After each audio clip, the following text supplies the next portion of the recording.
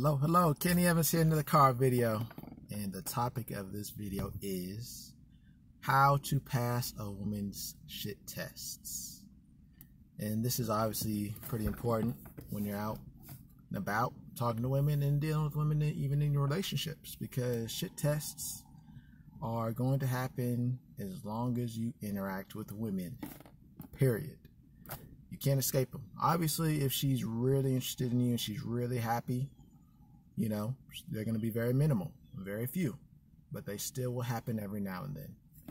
It's just a part of life, you know what I mean? So, but, you know, knowing how to deal with them is very important when it comes to success with women because she could have had interest in you and she wanted to test you to see what you're really made of.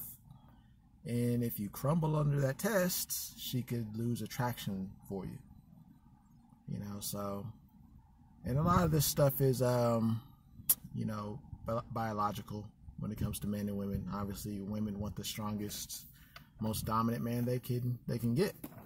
So in our modern society you know we're not going to be hunting and you know fighting in, in wars against other tribes. You know what i mean? So what we do since our, our society is pretty modern and pretty comfortable when it comes to men and women interactions, women will test you to see how strong, how confident you truly are. You know what I mean? So it is a part of the game. You know, we all got to learn it and we all got to do better as men, strong men specifically, uh, to overcome them. So, and that way we, we look at the best we can, not only to us, but to the woman, and we're able to get them. You know, so it's all pretty easy, pretty simple, you know, but it is, uh, you know, very important at the same time. So, first thing you must always do when it comes to passing a woman's shit tests or tests is stay calm and do not go back at her. Because again, these these shit tests that women put men through are to test men generally because of their own insecurity and they want to see that you're stronger than them or more confident than them. So if you go back at them and shit test them or talk bad about them, you not only did you fail, but you show that you are just as insecure and weak as they are. And now, if you, especially if you get in an argument and go back, I mean, it's over. You're not getting anywhere with that girl. You know what I mean? So and what I was talking about when it comes to, um, you know, uh, prehistoric humans and all that stuff, dealing with that tension. You don't have to do the hunting and all that stuff and fighting wars. And so it is all about showing your dominance.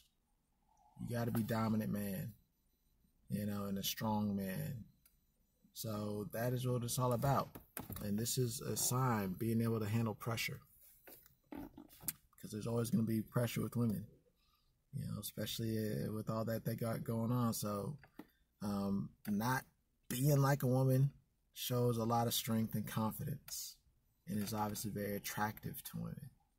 Because especially nowadays, we got a lot of guys who like to act like women, who want to be blame women, and you know want to be like women, hold women to the same standards that they should they hold themselves to. Yeah, and it's very unattractive. And but that's a lot of the reason how um, our society is how it is today. So uh, definitely don't ever, don't ever, you know, be too high or um, go back at women. It's just it's never a good look. You know, just uh, end things in a bad direction. You know. Um, but next, you want to agree and amplify.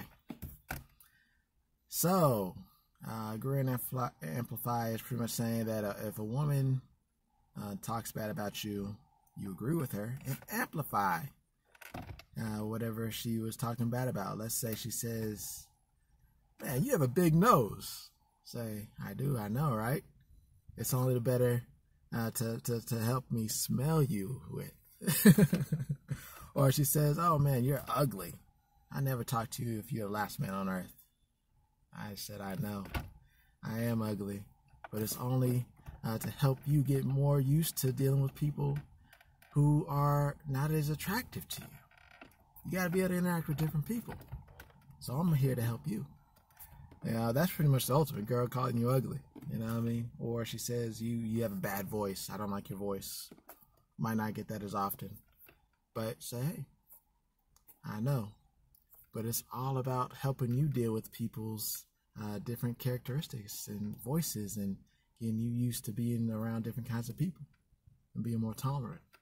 You know, I mean, and those are kind of basic, but the bottom line is you want to um, not take it personal and see the bright side. How is it going to help her and how is it going to make you look better? You know, so definitely something to always keep in mind. Yeah, agree and amplify. Second, agree and compliment. Uh, same principle, you know, but a little bit different. So it's amplifying it. You compliment, obviously. So she says, Man, you're ugly. Say, I know I'm ugly, but I'm the best looking ugly you've ever met. yeah, maybe they laugh, and you know, but it, it, it, it makes you look better, makes you seem more confident. Man, you got some big ears. Yeah, but I'm the best looking guy with the big ears you've ever seen, huh? Oh, man, you're annoying. I know, but I'm the coolest, most annoying guy you've ever met. You know, it's just you just it's very simple.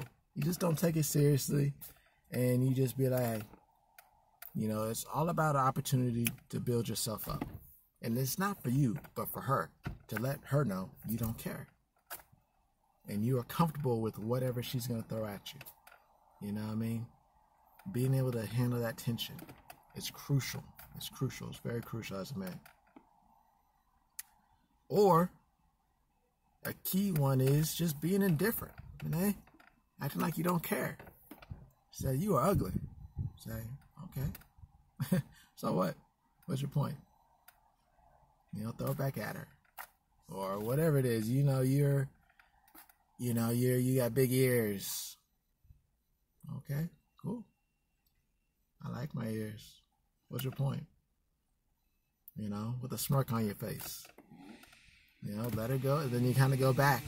And if you're really good, you kind of maneuver it and get her interested in you. You know, the key is just, again, just because the indifference is really with everything, but whether you amplify or compliment yourself, that's just extra.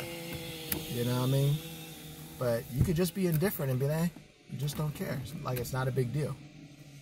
You know what I mean? Yeah, that lawnmower, lawnmower uh, raise my window a little bit just to kind of get rid of the the noise a little bit. But um, yeah, being indifferent is crucial as well because it shows you just don't care.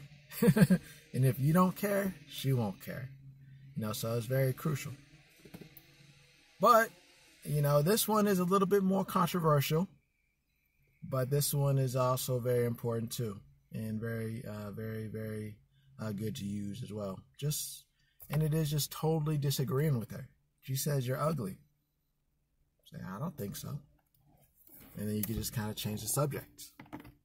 Or she says, "Oh man, you're breasting."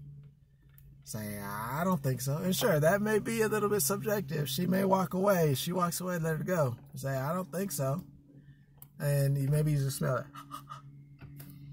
but hey, you gotta admit you think my best friend give you a mint, you know? And that's a little risky because she she may not be willing to deal with you because you're breasting, but if you're able to, you know, deal with it, you know, and kind of have a confident way of dealing with it, she may still want to deal with you. And again, it that stuff's a little bit more risky, you know. Um, or she says, "Hey, you got big ears or you got big nose," be like, "Hey, I don't think so. I love my ears, love my nose. I think I look good." even though that's kind of like, um, you know, uh, even though it's a disagree and compliment, but it's kind of like the agree and compliment, but just kind of different. But the bottom line is, you just don't care. Because some women will do that to test you. Some women will say it because they truly believe it. But the key is realizing that you don't care whatever she says, you don't care as the man. And you just take it as she just joking with you. You know what I mean? That's the mindset. Ah, yeah, she already wants me. I already know she wants the abundance mindset. Take it as she wants you. She's just joking with you. You know what I mean? And she is just really just wanting to be funny. You know, she always say everything with a smirk on your face. You know, be relaxed, be calm. Say, ah, this is fun. You know, she's joking with me. I already know she wants me. And you always keep that in mind that what she says will not diminish you because you are a strong, confident alpha male, select male, and you are the man that all women want. Until she shows you that you don't want her anymore. You know, so that's all very important. And, um, you know, you always got to realize that if you don't care about something, a girl won't care about something, or other people in general won't care. So that is very important to stay calm and stay relaxed and be as confident as you can and always take it as a joke when they want to te- shit test you. You know what I mean? And eventually they'll stop. Or if they go too far, you can always cut them off. So that's all I got for y'all today. I uh, hope y'all enjoyed the video. If you did, you know, like, comment, subscribe. Let me know what you think, whether you agree or you disagree. You know, even if you dislike, it's all good. Uh, let me know what you disagreed about. You know, and I always want you guys to um, let me know in the comments what you, what other videos you would like me to talk about. Let me know. I'm down for whatever, as long as it's within the topic. You know, uh, just let me know. And of course, if you found value in this video, don't forget to donate. I appreciate donations. They're all very helpful. Um, but yeah, that's all I got for y'all. Um, till next week, I'll see you guys. É isso.